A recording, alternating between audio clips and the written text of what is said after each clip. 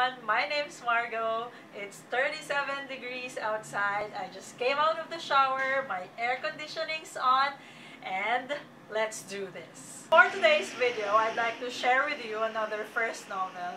This time by Jasmine Warga, which is My Heart and Other Black Holes. It was published in 2015. So for this story, we have two characters, Aysel and Roman, who are both suicidal. And they found each other through this website called Smooth Passages. And one of the forums or message boards in this website was uh, suicide partners. Essentially, suicide partners work as a place where you can find your partner for when you kill yourself. That's where Aysel and Roman found each other.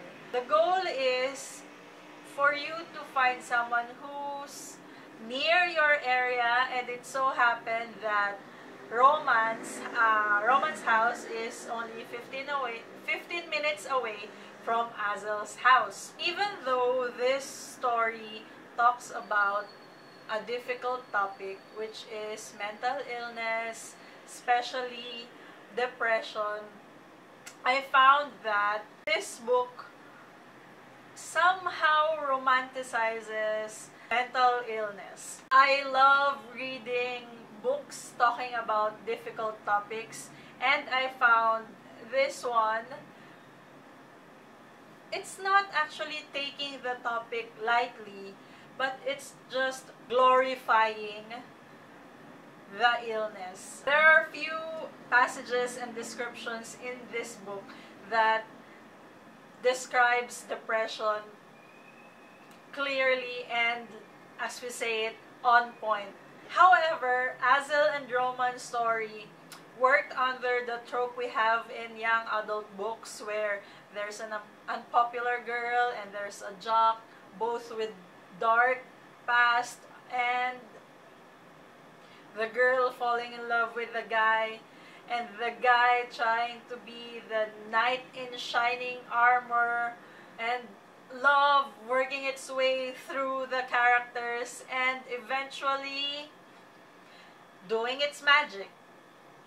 Now maybe, I'm not sure,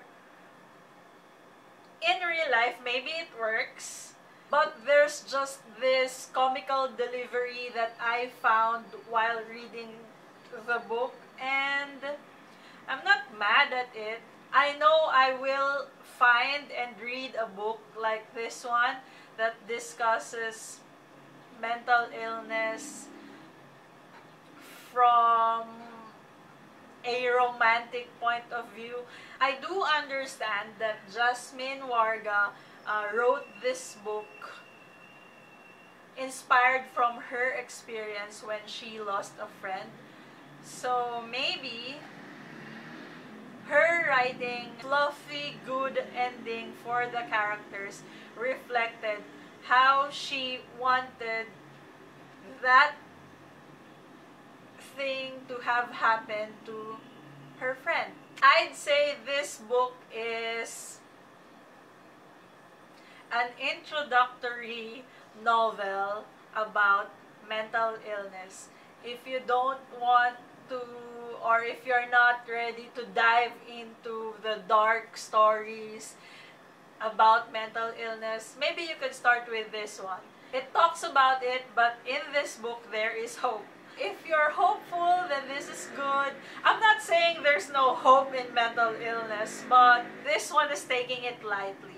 Not in a bad way. I, I, how do I say this? Okay, I won't even try. Just this book is a good introductory to diving in stories talking about mental illness. It's not bad. It's not great. It's it's okay. Although the title deceived me personally. I was expecting for great things. But good titles and not so good stories, so again, I think I'm coming off as someone who's not recommending this book, but yes, you could read this. I am recommending this book. I'm just saying it's not phenomenal. Check it for yourself. My Heart and Other Black Souls by Jasmine Warga. That's it for today. See you. Bye.